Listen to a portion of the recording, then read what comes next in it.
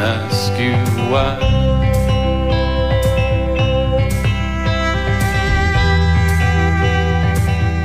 What could I say?